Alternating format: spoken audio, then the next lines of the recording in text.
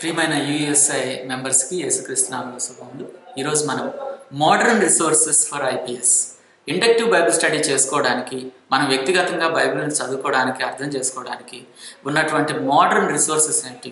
కొత్త కొత్త సాఫ్ట్వేర్స్ లేకపోతే వెబ్సైట్స్ ఎలా ఉన్నాయనే విషయాన్ని చూడబోతా ఉన్నాం. ఇందులో జనరల్గా మనకి పీబీఎస్లో ఏం అవసరం అనే దాన్ని చూసినప్పుడు మాతృభాషలో బైబిల్ వేరువేరు వేర్వేరు అనువాదాలతో కూడినటువంటి ఇంగ్లీష్ బైబిల్ కావాలని మన వాళ్ళు చెప్తా ఉంటారు. అదేవిధంగా తెలుగు ఇంగ్లీష్ డిక్షనరీ ఉండాలని బైబిల్ డిక్షనరీ ఉండాలని ఒక బైబిల్ కాన్కార్డెన్స్ అంటే టాపిక్స్తో కూడినటువంటి పట్టిక. అదేవిధంగా ఒక బైబిల్ అట్లాస్ అక్కడ ఉన్నటువంటి జా జాగ్రఫికల్ ప్లేసెస్ని అర్థం చేసుకోవడానికి బైబిల్ అట్లాస్ అదేవిధంగా బ్యాక్గ్రౌండ్ కామెంటరీ తర్వాత అంటే అక్కడ ఉన్నటువంటి ఆచార వ్యవహారాలు వాటి నుండి చూడడానికి బ్యాక్గ్రౌండ్ కామెంటరీ తర్వాత ఒక స్టడీ బైబిల్ కొన్ని కామెంటరీస్ ఉంటే చాలా బాగుంటుందని చెప్తా ఉంటారు. సో వీటన్నిటిని గురించి నేను డీటెయిల్స్లోకి వెళ్ళట్లేదు కానీ ఒక కొత్త మోడర్న్ రిసోర్స్ ఈ మధ్యకాలంలో ఎక్కువ మంది ఉపయోగిస్తున్నటువంటి ఒక రిసోర్స్ ఈ సోడ్ని మీకు ఇంట్రడ్యూస్ చేయాలని అనుకుంటున్నాను. ఈ సోడ్ అనేది ఒక సాఫ్ట్వేర్ దీన్ని మనం ఇంటర్నెట్లో నుంచి చక్కగా డౌన్లోడ్ చేసుకోవచ్చు. దీన్ని చక్కగా ఇందులో చాలా రకాల బైబిల్ ట్రాన్స్లేషన్స్ ఉంటాయి కామెంటరీస్ ఉంటాయి. దీన్ని మనం ఒకసారి చూడడానికి ప్రయత్నం చేద్దాం. ఈ సోడ్ మీ స్క్రీన్ మీదకి వస్తూ ఉంది. ఈ సోడ్ స్క్రీన్ ఇలా కనపడుతుంది. ఇందులో ఈ పైన చూస్తూ ఉన్నప్పుడు మీకు రకరకాల బైబిల్ ట్రాన్స్లేషన్స్ కనపడతా ఉంటాయి. మోడర్న్ కేజేవి వర్షన్లో ఉన్న మనం చదువుతున్నటువంటి పాఠ్యభాగం ఎలా ఉంది? లేకపోతే గుడ్ న్యూస్ బైబిల్లో అదే పాఠ్యభాగం ఎలా ఉంది? లేకపోతే కేజేవిలో కింగ్ జేమ్స్ వర్షన్లో ఎలా ఉంది? తెలుగులో ఎలా ఉంది? తెలుగులోనే రెండు ట్రాన్స్లేషన్స్ ఉన్నాయి నా దగ్గర. ఇది చూసినప్పుడు ఇక్కడ ఉన్నటువంటి కొందరు ఈ వ్యతిరేక సిద్ధాంతాలు బోధించారు అనడానికి ఈ విషయంలో ప్రవీణమని తప్పిపోయారని కొంత ట్రాన్స్లేషన్ డిఫరెన్సెస్ కనపడతా ఉంటాయి. సో ఈ విధంగా రకరకాలైనటువంటి బైబిల్ ట్రాన్స్లేషన్స్ మనం చూస్తూ ఒక విషయాన్ని అర్థం చేసుకోవడానికి చాలా బాగుంటుంది. అదేవిధంగా ఈ ఈ పర్టికులర్ వర్స్కి సంబంధించి ఒకవేళ నేను తెస్లోనికీలకు రాసినటువంటి మొదటి పత్రిక నేను స్టడీ చేస్తా ఉంటే మొదటి తెస్లోనీలు మొదటి అధ్యాయం అనుకోటి ఎంటర్ చేస్తే అక్కడికి వెళ్ళిపోతుంది. ఈ విషయంలో విశ్వాసంతో కూడిన మీ పనిని ప్రేమతో కూడిన మీ ప్రయాసను దీన్ని నేను స్టడీ చేస్తా ఉన్నాను. దాని మీద క్లిక్ చేసినప్పుడు దానికి సంబంధించినటువంటి కామెంటరీస్ ఇక్కడ హైలైట్ అవడానికి ఉంటుంది అనమాట ఇక్కడ నేను హైలైట్ చేసిన దాన్ని బట్టి ఇక్కడ నా కామెంటరీస్ మారిపోతా ఉన్నాయి. అదేవిధంగా ఈ బుక్కు సంబంధించిన ఇంట్రడక్షన్ కావాలి అని అంటే మనం బి మీద కొట్టాల్సి ఉంటుంది. అదేవిధంగా ఈ చాప్టర్కి ఇంట్రడక్షన్ ఏమి ఇచ్చారు? ఈ కామెంటేటర్ అనేది సి కొట్టచ్చు. వి క్లిక్ చేస్తే ఈ వర్స్కి సంబంధించినటువంటి కామెంటరీ వస్తుంది. సో ఇవన్నీ కూడా అనేక మంది ఇచ్చినటువంటి కామెంటరీస్ మనకి ఇక్కడ కనపడతా ఉంటాయి. అదేవిధంగా కింద ఈచ్ వర్డ్ ఎలా ఉంది? ఈ పర్టికులర్ వర్డ్స్లో ఎలాంటి పదాలు వచ్చాయి? ఆ పదాలకి అర్థాలు ఏమిటి అనేది ఈ కింద మనకి కనపడతా ఉంటుంది. ఈ ఈ ఈ నాలుగవ కారణంలో మనం మనం నేర్చుకున్నటువంటి విషయాల్ని మనం నోట్స్ కింద రాసుకొని తర్వాత ఎప్పుడైనా చూసుకోవడానికి బాగుంటుంది. ఇప్పుడు ఫర్ ఎగ్జాంపుల్ విశ్వాసముతో కూడిన మీ పనిని ప్రేమతో కూడిన మీ ప్రయాసను అని అన్నప్పుడు ఇక్కడ ప్రేమ అనే పదాన్ని నేను ఇంకా డీప్గా స్టడీ చేయాలని అనుకుంటే మనకి ప్రేమ అనే దానికి రకరకాల మీనింగ్స్ ఉన్నట్టు కనపడతా ఉంటుంది.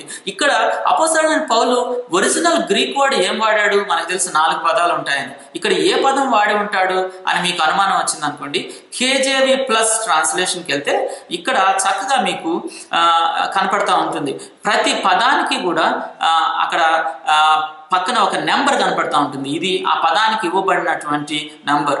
ఇక్కడ చూసినప్పుడు లే I can see that labour of love so ఈ లవ్ లవ్ అనేది జీ ట్వంటీ సిక్స్ అనే పదం ఇక్కడ కనపడతా ఉంది. దాని మీద హైలైట్ చేసినప్పుడు అక్కడ ఉన్నటువంటి పదం అగాపే కనపడతా ఉంటుంది. దాన్ని నేను క్లిక్ చేస్తే కింద స్ట్రాంగ్ కాంకార్డెన్స్ నేను చూసినప్పుడు అక్కడ ఇవ్వబడినటువంటి పదం అగాపే ఒరిజినల్గా గ్రీక్ చదవటం మనకు వస్తే ఈ గ్రీక్ పదాన్ని మనం చదవచ్చు.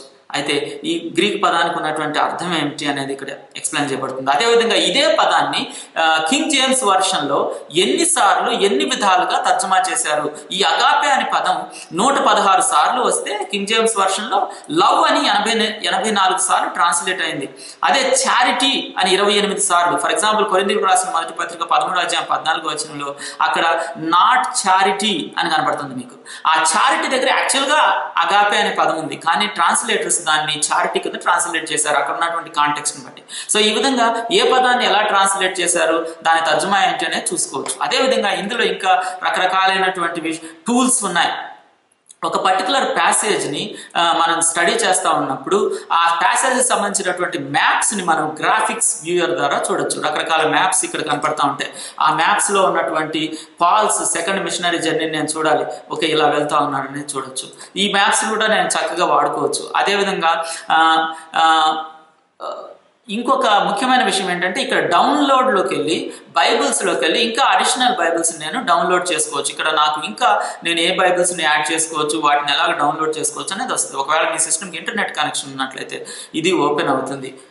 అదేవిధంగా గాస్పల్ స్టోరీ కంపారిజన్ ఒకే పర్టికులర్ ప్యాసేజీ అనేక చోట్ల ఎలా ఉన్నది అనే గాస్పల్ స్టోరీ కంపారిజన్ కూడా మనం ఈ పర్టికులర్ దానిలో నుంచి చూడొచ్చు. ఫర్ ఎగ్జాంపుల్ యోహాను సువార్త మూడో అధ్యాయంలోకి వెళ్తే అక్కడ ఉన్నటువంటి విషయాలు ఎందులో ఎలా ఉన్నాయనేసి గాస్పల్ స్టోరీ కంపారిజన్లో నుంచి మనం చూసుకోవచ్చు. సో ఈ విధంగా ఈ సోడ్ అనేటటువంటి ఈ సాఫ్ట్వేర్ని వాడటం ద్వారా చాలా చక్కగా పదాలని అందులో ఉన్నటువంటి అర్థాలని వీటికి వేరే వేరే కామెంటేటర్స్ ఇచ్చినటువంటి భాష్యాలని చూసుకుంటూ మనం ముందుకు వెళ్ళొచ్చు. అదేవిధంగా ఇంకొక రిసోర్స్ని మనం ముందుకి వెళ్తా ఉంటే నెక్స్ట్ రిసోర్స్ అనేక రకమైనటువంటి చక్క చక్కని వెబ్సైట్స్ ఈ మధ్య మనకు కనపడతా ఉన్నాయి. ఒకవేళ నాకు తెలుగులో ఒక వర్స్ తెలుసు ఆ వర్స్ ఎక్కడ ఉన్నదో నాకు బైబిల్లో సరిగ్గా గుర్తుకు రావట్లేదు. ఫర్ ఎగ్జాంపుల్ నేను తెలుగులో దాన్ని దేవుడు లోకం ఎంతో ప్రేమించను లేకపోతే అలాంటి ఒక పదాన్ని ఎక్కడుంది అని తెలుసుకోవాలనుకుంటే చాలాసార్లు ఇంగ్లీష్లో సెర్చ్ ఉంటుంది కానీ తెలుగులో సెర్చ్ ఉండదు. ఈ విన్సెంట్ బైబిల్ సెర్చ్ అనేటటువంటి ఈ సైట్ ద్వారా చక్కగా మనం తెలుగులో ఏదైనా ఒక విషయాన్ని సెర్చ్ చేయొచ్చు. ఇక్కడ లోకములో లేక లోకమును అని కొట్టాలంటే ఎల్ఓ కేఏ ఎంయు ఎన్యు కొడితే లోకమును కింద మారిపోతుంది. మారిపోయిన తర్వాత సెర్చ్ కొట్టినప్పుడు సెర్చ్ అయిపోయి ఈ దేవుడు భూలోకమును చూచినప్పుడు లేకపోతే యహోవాదూత పరలోకం నుండి ఇలా చక్కగా స్క్రీన్ మీద దాన్ని హైలైట్ చేసి మరీ ఇస్తూ ఉంటాడు.